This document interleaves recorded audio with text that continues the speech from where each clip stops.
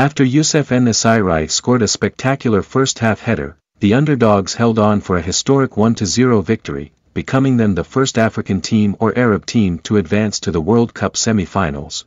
When Ronaldo came on as a substitute early in the second half, he tied the record for most appearances for a player representing a country, however. He only had one noteworthy opportunity to try to even the score, shooting a close-range effort into goalkeeper Bono's hands. He then seemed a distant and frequently unhappy figure as his team failed to break down Morocco.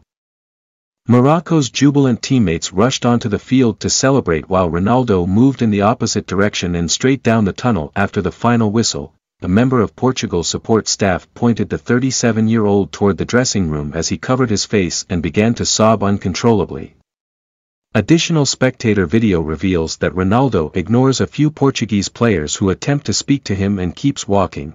The five-time Ballon d'Or winner completely disregarded a fan who raced onto the field to attempt to take a photo before leaving the field.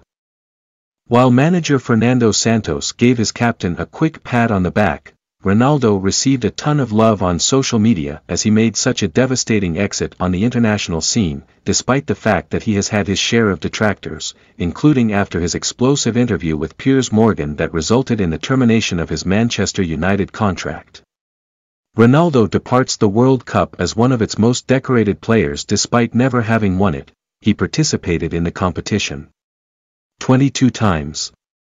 Which ranks 6th all-time, scored 8 goals, and became the first player to score in five different World Cups with his goal against Ghana in the opening group game. However, he has gone 570 minutes of knockout play and 27 shots without scoring in all eight of his World Cup knockout games, including a third-place playoff match.